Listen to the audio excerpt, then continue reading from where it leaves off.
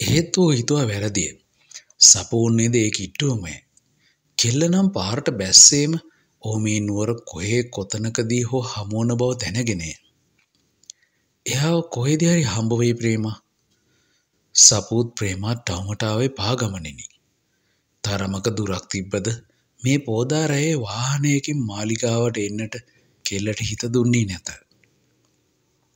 අම්මේ යන්නට පෙර සපූ සුජාතා ළඟට ආවාය.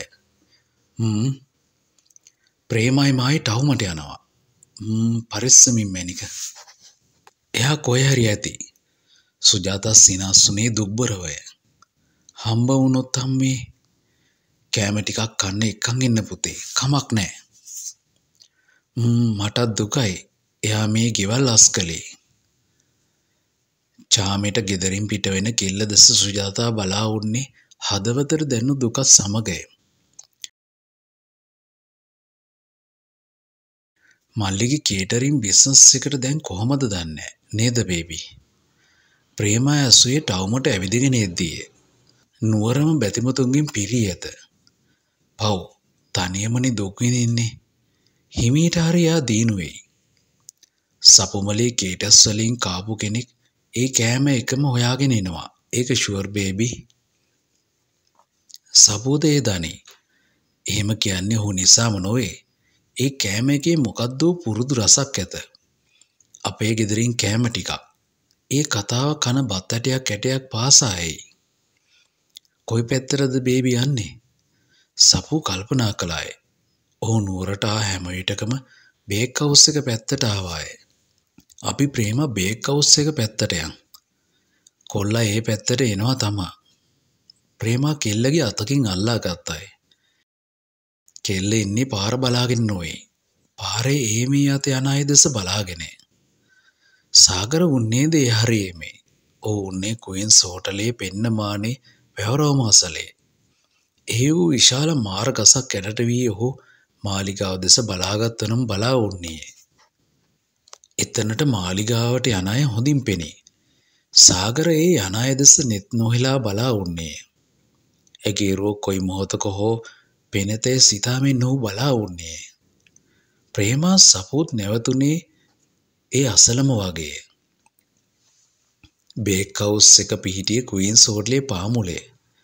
කෙල්ල දැස් කරකවා බැලුවායි. එය තාමත් ඇය වැවරවමේ උන් ඔහෝ දැක්කේ නැත. එකරම ලා අඳුරේ උන්රුව යාන්තමට මෙන් සපූ දැක්කාය. ඇය එහෙමුම් ප්‍රේමාගේ අත දැඩිව අල්ලා ගත්තාය. ප්‍රේමා බේබි එයා පව් ප්‍රේමා ගොඩක් තනි වෙලා ගොඩක් පව්. බේබී අර බලන්න ප්‍රේමා සපු ඔහු වෙතට ඇගිල්ල දිගු කළේ අඩමින් මෙනි.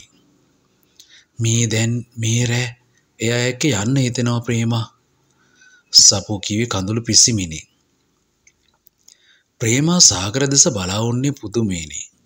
කොල්ලා නුවර ටවමට ආ මොහොතේම කිල්ලට ටවමට එන්න ඕනා වූ හැටි පුදුමය.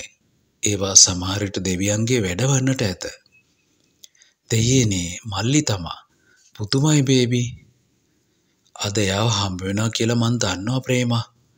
මට එයා ඉන්න රස්නෙත් දැනෙනවා. නැතුව මේ පැත්තට යන් කියලා බේබිනි කිව්වේ. දැන් ගොස් ඔහොත් සමග කතා කරන්නටත් ලෝභය. එයා කොහෙද ප්‍රේම බලා ඉන්නේ? මාලිගාව දිහාම බලා ඉන්නවා බේබි. පව්. අපි මාලිගාවට එයි කියලා වෙන්නේ නැති.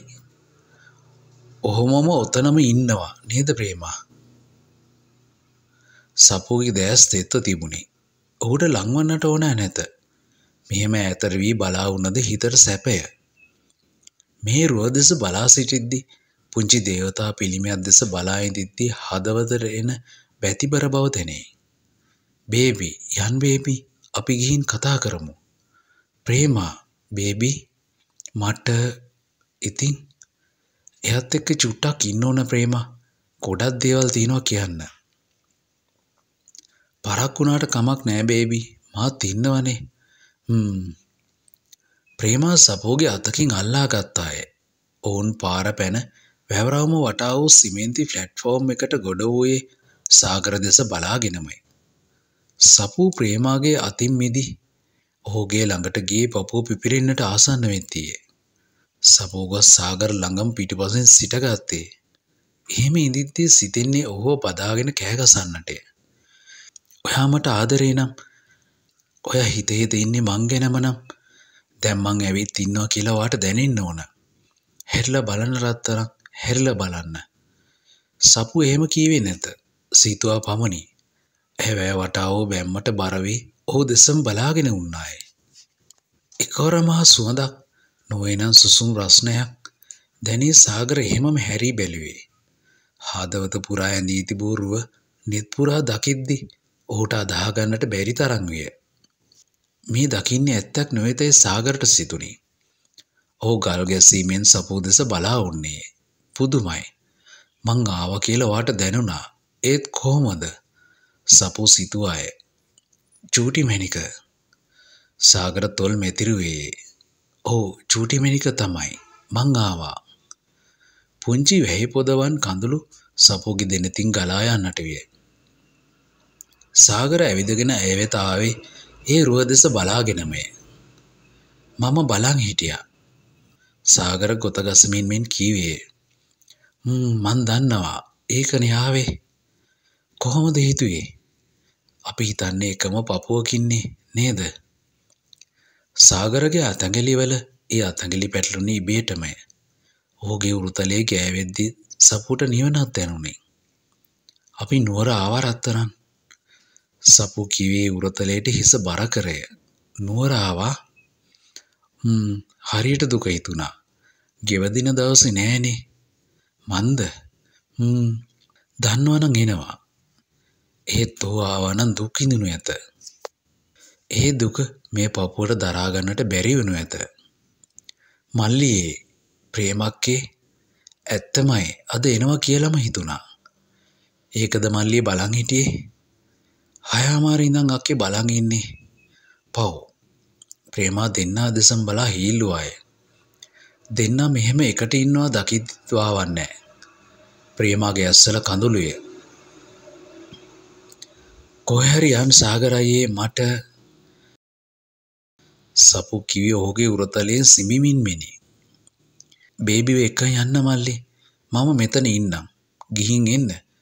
දවස් කීයක් බලන් උන්නද? ප්‍රේමා කිව්වේ ආදරේනේ. ඌ සමග කෙල්ලව අරින්න ප්‍රේමට බයක් නැත. අක්කා මෙතන? සාකර කිවි දුකිනේ මම මාලිගාවට ගිහින් එන්නම් ඉතින් යන්න තා පරක් වෙනවනේ මල්ලියේ සාගර මොහොතක් සපුව දෙස බලා උන්නේ පසුව පුදුමාකාර ආදරයකින් ඇගේ අත අල්ලා ගත්තේ සපූ ප්‍රේමාදස බැලුවේ දෑස් අඩවන් කරය. සාගර පාර යන ත්‍රීවිලේරකට අත දිගු කළේය.